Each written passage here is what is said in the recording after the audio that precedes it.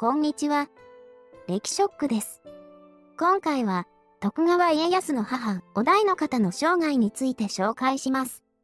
松平広忠に嫁ぎ、家康を生んだお代の方は、結婚後わずか2年で離縁され、生まれたばかりの家康を置いて、16歳にして松平家を去るという悲劇の別れを経験します。その背景には、今川、織田という二大勢力の間で生き延びなければならない松平氏、そしてお代の方の実家の水野氏の事情がありました。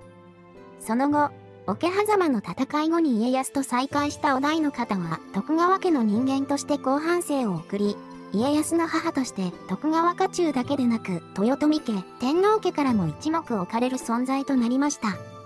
今回は、実家の都合で離縁、再婚させられたお代の方の生涯、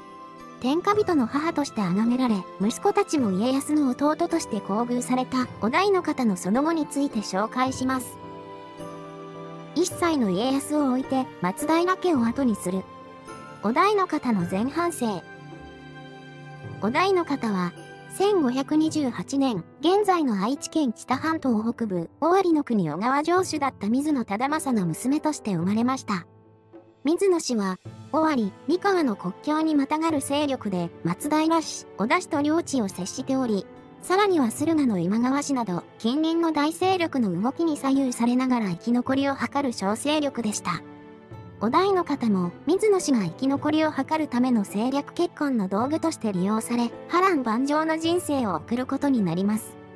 お代の方の父、水野忠政は、当初は松平一族で家康の一族に代わって岡崎城を支配していた大草松平氏の松平信貞の娘を妻としていました。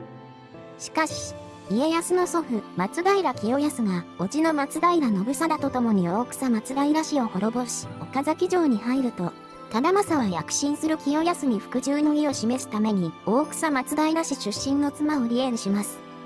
そして新たな妻、慶応院を迎え、その間にお代の方は生まれました。そのため、忠政の後を継いで水野氏の当主となる兄の水野信元とお代の方は母が異なる兄弟ということになります。松平清康はその後も勢力拡大を続け、水野氏も清康に従いますが、水野氏は清康よりも清康の叔父の松平信貞に近い立場をとっていました。お代の方の兄の水野信元は松平信貞の娘を妻としており、やがて清康と信貞が対立すると信貞側につき、清康は信貞を追悼しようとするも、森山崩れと呼ばれる大敗を喫し、24歳の若さで亡くなります。信貞は清康を葬った後、清康の子で家康の父にあたる松平広忠を岡崎城から追い出し、勢力を拡大します。しかし、一連の戦いを経て、同じく勢力を拡大した織田信秀に森山城の割譲を要求され、広忠にも岡崎城を奪い返されてしまい、水野氏の同盟者であった松平信貞は衰退してしまいました。水野氏は織田氏とは友好関係を築いていたものの、三河の国に同盟相手がいなくなってしまい、松平広忠と手を組むことを決断します。この同盟の証として、お代の方は松平清康の死の6年後、1541年に松平広忠のもとへ嫁ぎました。広忠としても、織田氏とつながる水野氏と同盟を結ぶことで、水野氏を通じて織田氏との停戦を図る狙いがあったようです。お代の方は、嫁いだ2年後の1543年に広忠との間に家康を設けました。お代の方は、出産に際し安産祈願を行った春慶創図のために岡崎城外に大仙寺を建立しています。出産後にも家康の長生きを願って薬師如来像を奉納するなど、家康への愛と信心深い一面を見せています。しかし、家康が生まれた翌年には、お代の方がいるにもかかわらず、松平氏は水野氏との同盟を破棄してしまいました。これは、水野氏が広忠のうち松平信孝と結び今川氏の勢力を三河に引き入れて両国の安定を図ろうとしたのに対し松平広忠が反対したためとされます。広忠は叔父の信孝を追放し当時勢いを増していた渥美半島の戸田氏と同盟し今川氏織田氏と敵対する道を選びました。水野忠政の後を継いだ水野信元は、広忠のこの動きに対し、織田氏について広忠と敵対する道を選び、お代の方は広忠に離縁され、実家に返されることとなったのです。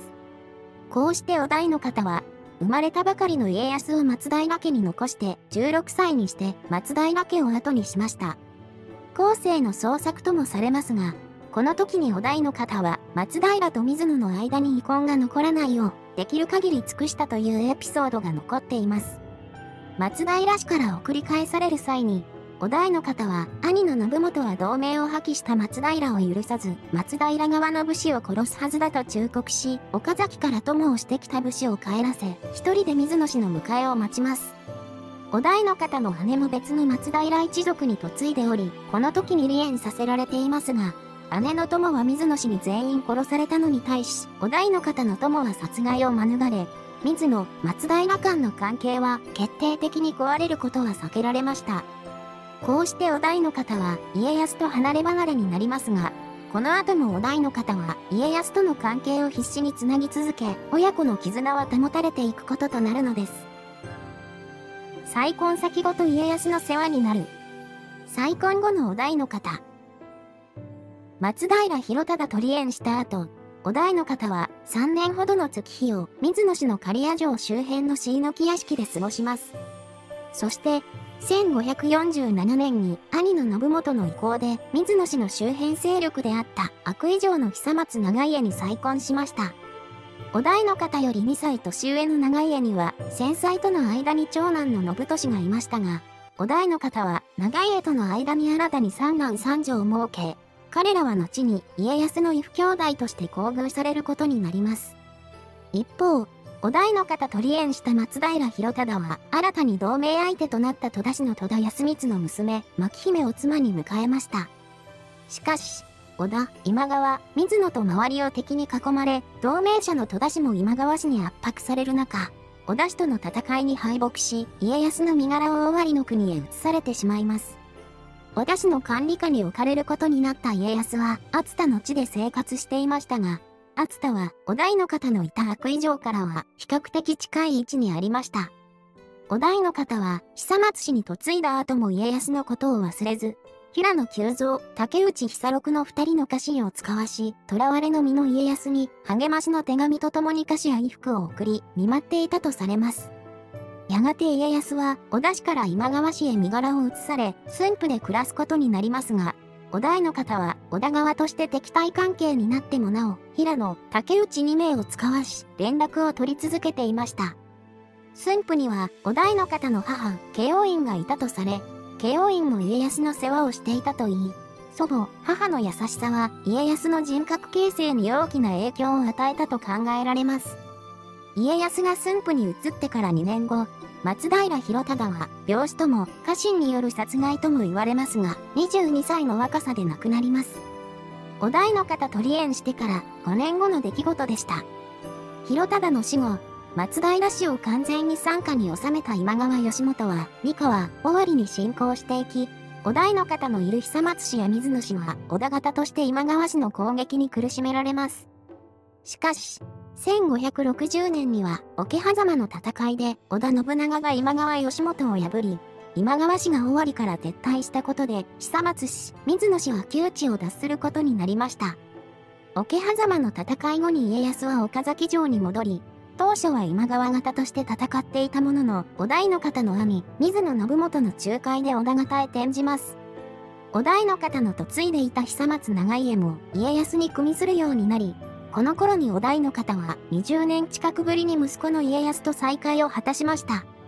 お題の方は家康に再び母として迎えられ、お題の方が久松長家との間に設けた安本、安俊、貞勝の3人の子供たちも家康の弟として松平姓を与えられました。次男の安俊は1563年に家康の弟として和議を結んだ今川氏のもとに人質として送られており、この後、大の方一家は家康の一門として新たな道を歩んでいくことになります。天下人の母として丁重に扱われる。晩年のお題の方。織田氏と結んだ家康は今川氏との対決を決意し、三河の今川方の拠点であった上野郷城の宇土の長照を攻撃します。お題の方の夫、久松長家も城攻めに加わり、功績を上げたことで、長家に上の郷城が与えられました。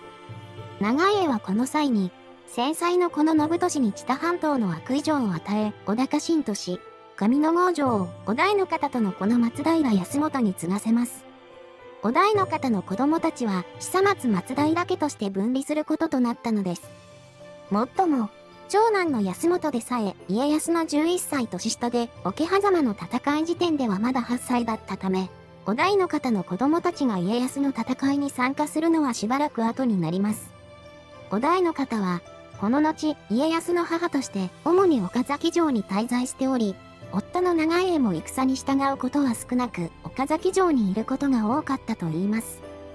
1576年には、信長と同盟関係にあったお題の方の兄、水野信元が武田氏に内通した疑いをかけられ、信長の命令を受けた家康に殺されるという事件が起きました。夫の久松長家も家康の所業に起こり隠居してしまい、お題の方も信元殺害の実行犯である石川和正を特に深く恨んだと伝わります。夫の長家は引退したものの、お題の方はその後も家康の母として岡崎城に留まり続けました。やがて家康は、本能寺の変を経て旧武田領の会、信濃を併合し、信長の後を継いだ豊臣秀吉とも対決するようになります。この頃になると、お題の方の子供たちも徳川家臣として各地の戦場で活躍するようになっていました。小牧長久手の戦いを経て家康は秀吉と講和する方向に進みますが、この時に秀吉は、お題の方の三男である松平定勝を人質として要求します。家康はこれに従おうとしたものの、お題の方は定勝を人質に出すことに強硬に反対しました。お題の方は、かつて次男の安利が今川氏に人質に出された際、今川領に侵攻した武田氏に安利が拉致された経験を持っていました。安利は海を脱出し、家康の元に戻りますが、雪の中を逃走した際に凍傷で指を失っており、この経験が人質提出への反対につながったと考えられます。家康も母には逆らえず、自分の次男の秀康を人質に差し出し、しばらく貞勝は家康から疎んじられたと言います。1587年には、お題の方の夫の久松長家が亡くなり、お題の方は剃髪し、蓮通院と合しました。やがて小田原征伐を経て秀吉が天下を統一すると家康は関東に違法され息子たちも関東に移ったためお題の方も三河を後にしたとされます。その後秀吉の死を経て家康は関ヶ原の戦いを勝利し実質的な天下人の地位を手に入れました。家康は関ヶ原の戦いの翌年からお題の方を上洛させる計画を立て1602年にお題の方を京都に呼び寄せます。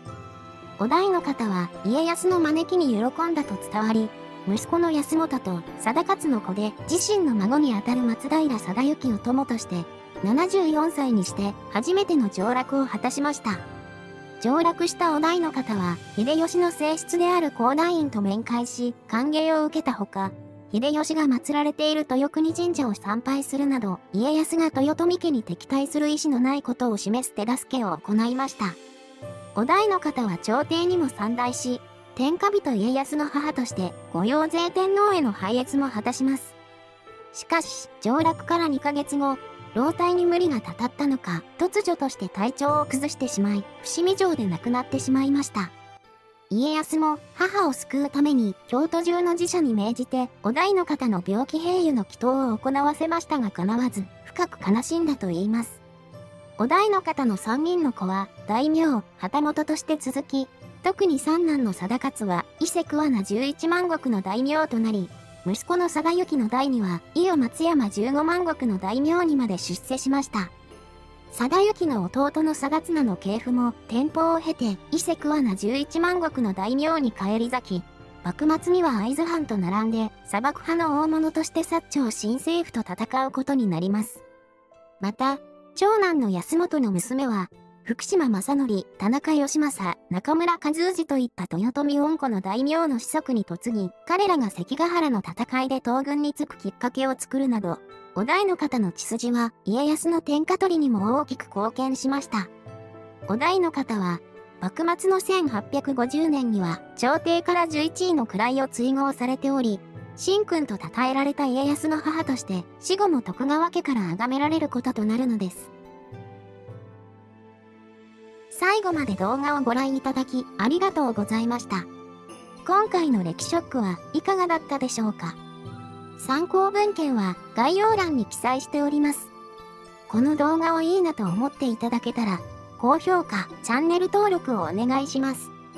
こちらのアイコンをタップしていただけると、チャンネル登録画面に移ります。歴ショックでは、Twitter、ウェブサイトでもたくさんの日本史情報を発信しています。概要欄に詳細が記載されているので、よかったらチェックしてみてくださいね。